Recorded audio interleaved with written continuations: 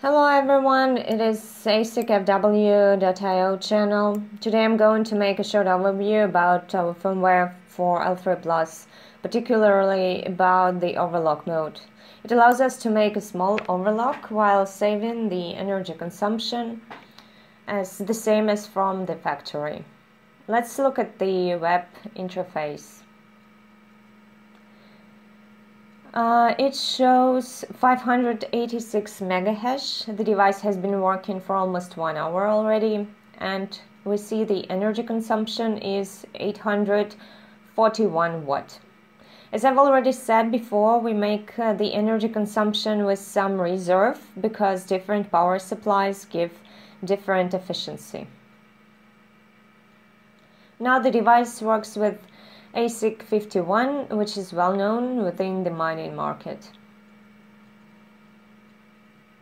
Let's take a look at our watt meter. Here it shows 820, 816. You can see this reserve I told you about in the web interface. Here I have the usual L3+, the usual power supply, ASIC51. Usual. So now I'll show you that very overclock mode. We go to miner configuration, then auto tuner configuration, and we choose light overclock. That's what I actually did beforehand. And as a result, we see 587 megahash per 820 watt. The stock version from the factory is 800 watt plus minus 10% as we see here. Consequently, sometimes it may even be 900.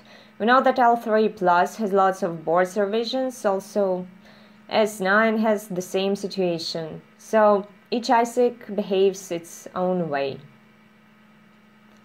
And Class C, I'll restart the device to be sure that this very device is working here right now.